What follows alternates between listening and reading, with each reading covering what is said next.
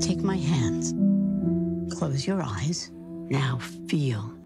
I see tears streaming down your face. What does this mean to you today? It feels like a betrayal. It feels like my country doesn't love me and appreciate my body as a woman. Um, I can't even I can't even chant because I I can't say anything.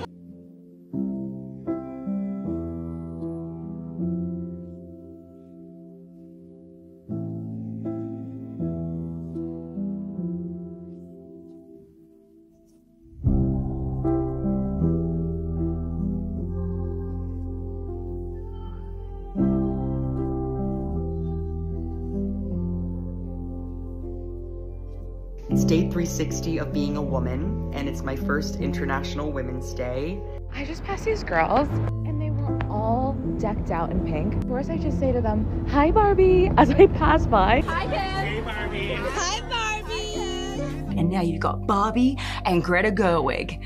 And I think I told them they'd make a billion dollars. Maybe I was overselling, but we had a movie to make, okay? Hot girls are walking, girls are blogging, dinner is girl, 40 year old men are baby girls. We are in a girl economy. This is my meal. I call this girl dinner.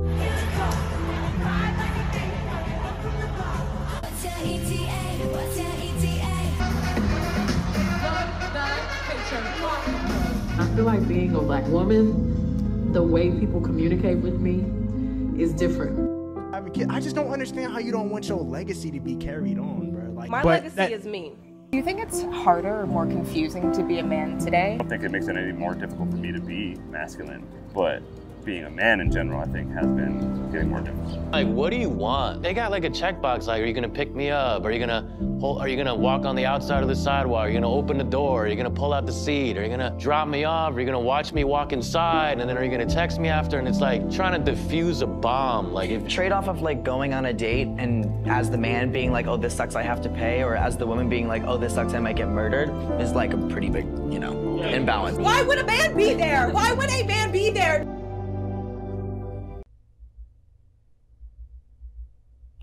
So, 2023 has been a crazy year for girlhood and womanhood in pop culture, media, politics, social circles, everything in between. And I'm doing my thesis on it. Hi everyone, my name is Kathy Pham. I'm a senior in the digital design program at CU Denver, and this is my thesis pitch for the 2024 thesis exhibition. So, why girlhood? Since the overturning of Roe v. Wade in the summer of last year, we've seen a shift in the proliferation and celebration of femininity in Western pop culture. From the Eras Tour to the Barbie movie to ribbons and bows and Sandy Liang totes, from breakups galore to men having the audacity from girl dinner to girl math, and of course, their masculine counterparts. See, girlhood is so fun, the boys want to be a part of it too. Who knew? However, this celebration of girlhood is happening at a time where girlhood has never been more fraught.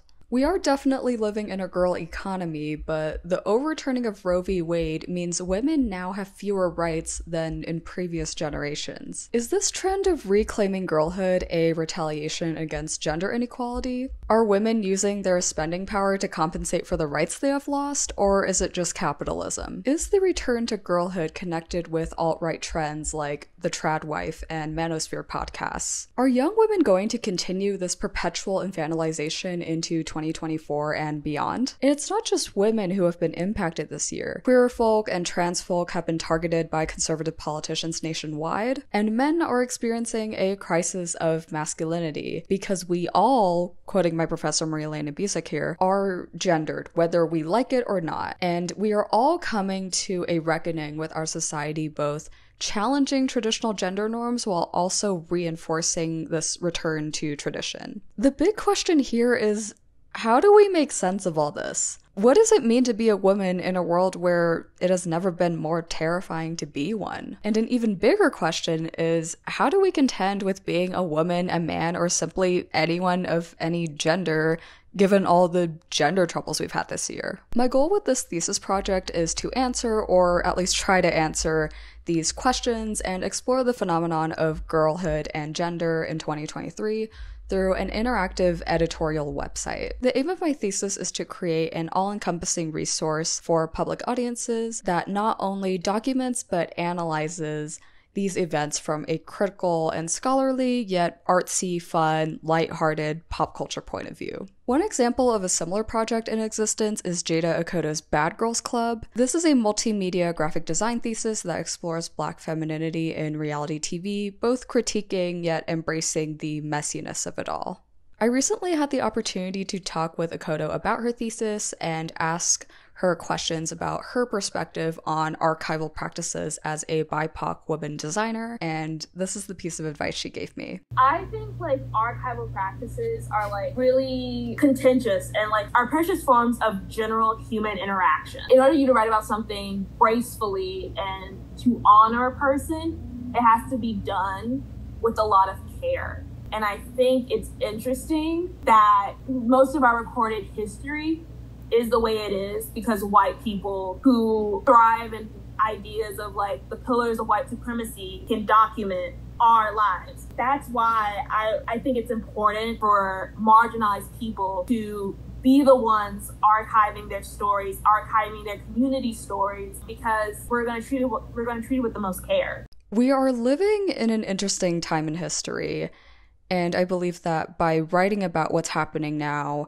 encouraging conversations about it, bringing analysis of current events to the public, especially for young women and young girls, it's important to preserve this history. So, how am I going to do it? My scope over the next semester is to design a fully functional and published website with Figma and ReadyMag. I plan to use Figma as a prototype tool, it's very common within the UI UX space and ReadyMag as a website builder, which I also use for my portfolio. Before I can do that, though, I will need to research, organize, and write the content that will be included. Most sources will come from outlets like New York Times, Washington Post, and NPR, but other sources will come from academic articles or other relevant books within the sphere of gender studies, history, and pop culture. The research and planning phase will likely take up the first two months of the semester, so I can dedicate March and most of April to designing, testing, and publishing the website. As for the visual design, I want this website to be more playful and experimental, which is why I've decided to use ReadyMag to build it. The editorial examples on ReadyMag are absolutely spectacular, and I especially love Artem Militonian's websites. His works speak on more serious and jarring topics like the war in Ukraine and the Armenian genocide, but they are expertly designed to create an emotional narrative using no code, only ReadyMag. Since my topic is on the lighthearted side, my goal is to integrate current Gen Z trends and aesthetics with the nostalgia of Y2K and early internet. I also want to pay homage to women illustrators, designers, and artists in recent history, so keep an eye out for that. As for additional deliverables,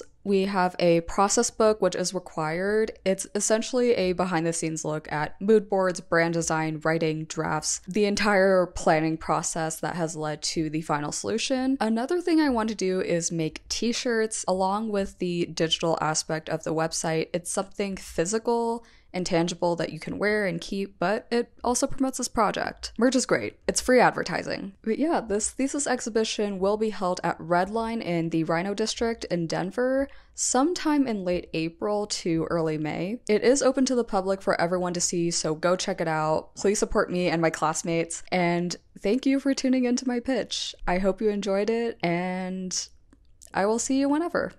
Bye.